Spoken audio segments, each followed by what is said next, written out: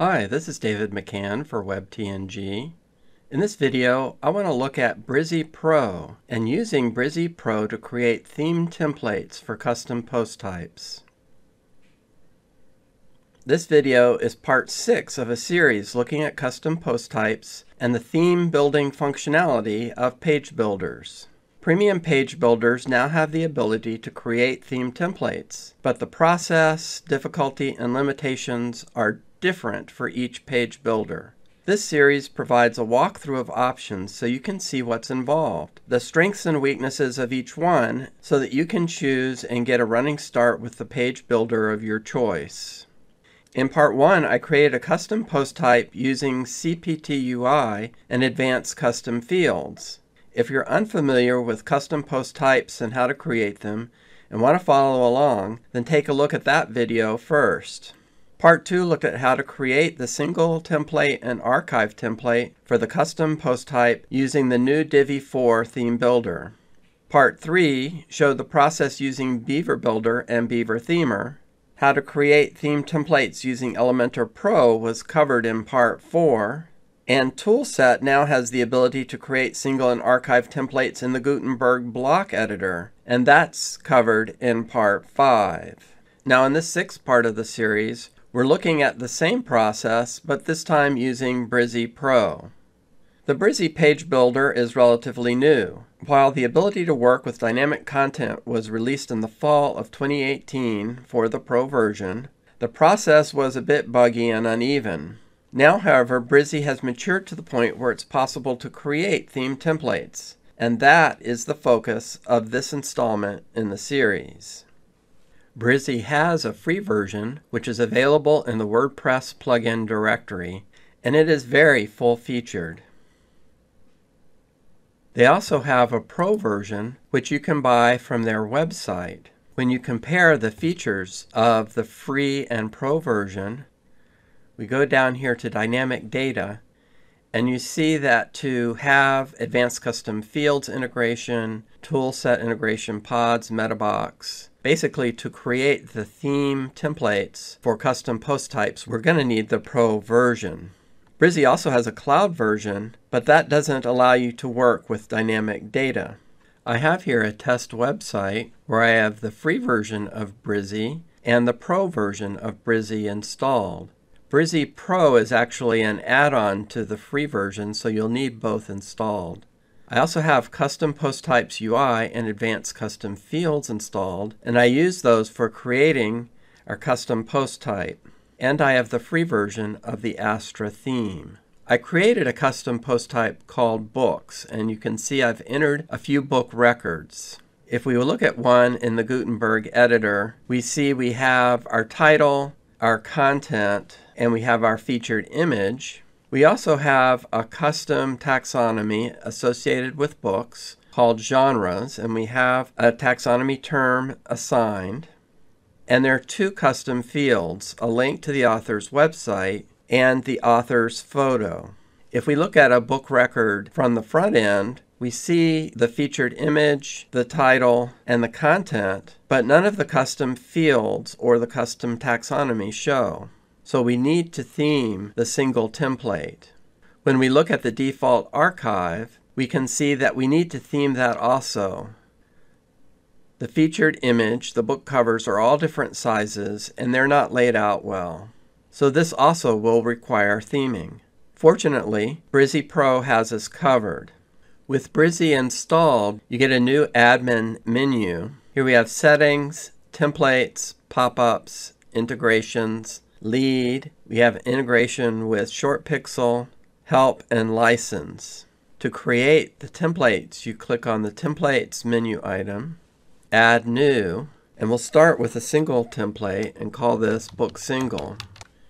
We pick the post type we want to create the template for. In this case, it's going to be for book pages.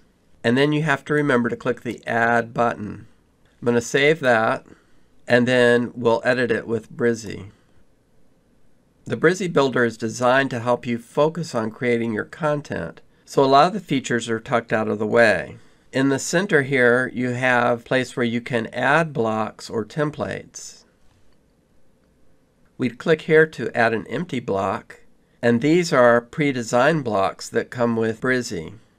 There are full page layouts, you can save blocks, and you can also save global blocks to use in other pages. You see the pre-designed templates are broken down into categories, and you see the number of items in each category. We just want to have a blank block. In the editor here, you can see the spacing. It tells you how many pixels it is, and you can adjust it just by holding your mouse button down and dragging. If we click on the blue plus sign, it opens the Elements box. We can also open that by clicking on the plus sign here. And here you see there are a lot of options of builder elements you can add. Text, button, icon, embeds, forms, progress bars, carousels, rating, and so on. Here are row and columns, Facebook and Twitter, and here are some WordPress options that we'll use in creating our templates. For example, for a sidebar, for shortcode, for a, a list of posts, breadcrumbs, the post title excerpt, the content, the post info or post meta, and archives. This button here allows you to reorder blocks. We don't see any here yet, but we'd see a list of blocks that we had and we could drag and drop them. This is for your color and font choices. Here you can preview on desktop, tablet, or mobile. This is where you can set the type of template, Brizy template or default template. So I'll go ahead and choose that now. The page reloads so it can bring that in. And then here are your options. You can get a quick link to submit an issue, learn about Brizy, some shortcuts, plugin settings, or go back to the admin dashboard. So let's start We'll add an empty block. I want to have three columns. So I'm going to drag in the columns element. You'll notice when you hover over them, you get some context menus here. You can resize the columns by grabbing this little pill button and resizing them down. And this is a settings button for your row. You can save it and make it global. You can make it a slider. You can have a background image you can set a color, you can save it, and you have some options whether it's boxed or full width and the height. And then more settings brings out padding and margin, corner and divider options, as well as some options for adding a CSS class and cu custom attributes, etc. There's an option here to duplicate or to delete it. Since I want to have three columns, I'm going to click on here for the column, and I'm going to click the duplicate button. And now I have three columns. I'm going to make this one about 25%. And I think this one is about 25% also would be good. And then this side I'm going to add the sidebar.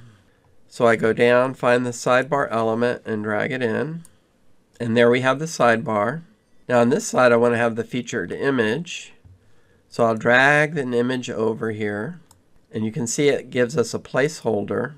I'll click on the image icon and I want this to be set for the featured image. So you click this little database icon for the dynamic data and I want it to be featured image. But you notice it also shows the other custom fields that we have defined for images like the author's photo, the site logo, or even the post author's profile photo.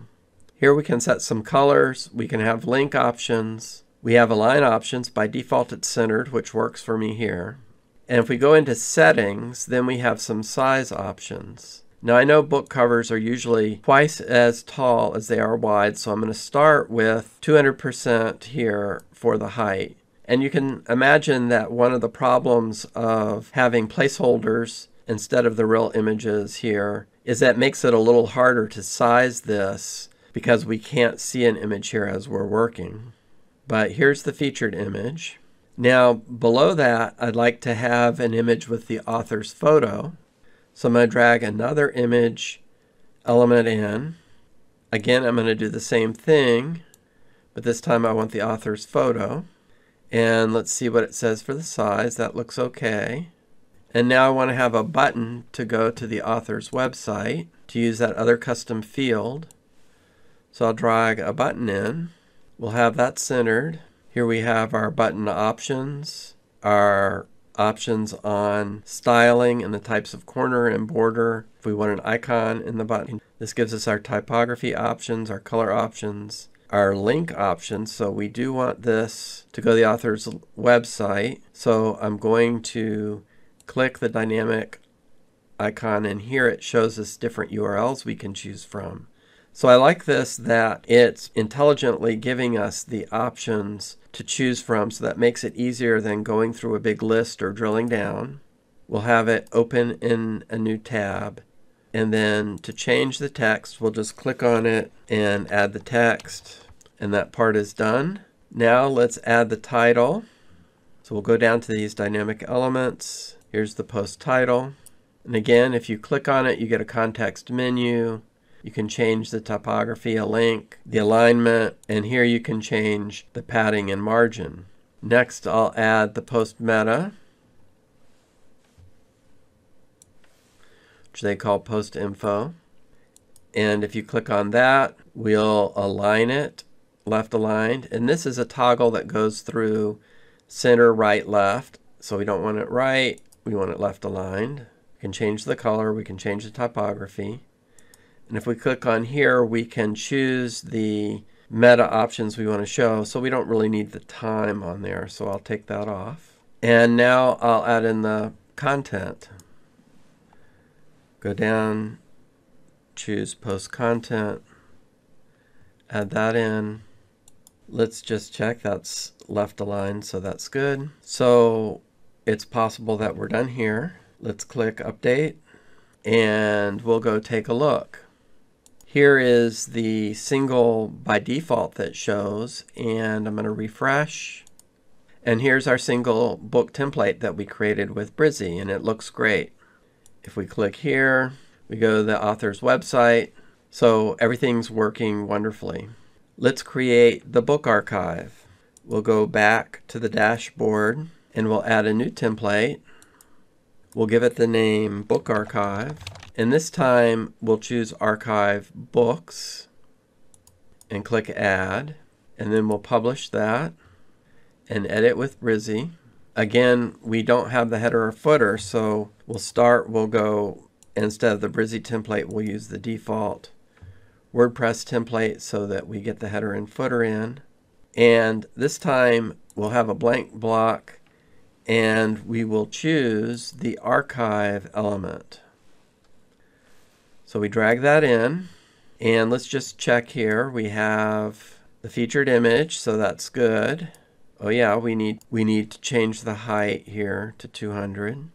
We have the placeholder for the post title, for the post excerpt, and for the read more button. And then we have the pagination. So we could change the styling here, but it, it looks good oh, for post excerpt, let's not have it centered. That might look a little funny. We'll make that left aligned. And you notice that when I change it here, it changes it for all of the cells in the grid. So that's, that's nice. That's a nice convenience thing. You don't have to go into each one to make the change. And I think that's it. That's very fast and easy. Let's see how that looks. I'm going to update.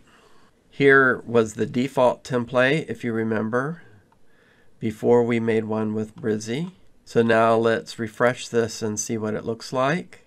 And here's the archive template for books that we just made. We can page through to see different ones. And if we go to the read more button, we go to the single template. So that was easy to do, very quick and easy. Now you notice again we just have the placeholder so it's a little bit hard to adjust things. You'd have to kind of do a little trial and error. And also, we can change the styling in the archive, but there's not really a lot of option to change the archive itself. Here's the control for the archive element. You can see we can adjust the number of columns and the number of rows and spacing, but that's pretty much it. This just goes to the margin and padding. So there's no option here to add, for instance, custom fields Or I like to have a listing where you have one record per row and you'd have the image off to the left. There's no option for the image placement, it's always above. So it's quick and easy, but it doesn't have a lot of extra flexibility. In conclusion, creating the single and archive templates for the custom post type was very fast and easy. The results looked clean and sharp. I was easily able to add the custom fields to the single book template. I found that the archive element works well, but it doesn't really have many options. I didn't see any way, for instance, to include a custom field in the archive. Also, it would be easier to work with the settings if there was a preview of the content instead of just placeholders. Working with a placeholder made getting the image size a bit of trial and error for me when I was testing this out before making the video. As I mentioned, I usually create a list type of archive with a single record per row and the image to the left, and there wasn't that flexibility. Brizy is a relatively new page builder that I've been keeping an eye on. Aside from the archive element limitations, I was pleased to see that the Brizy template options now work well for custom post types.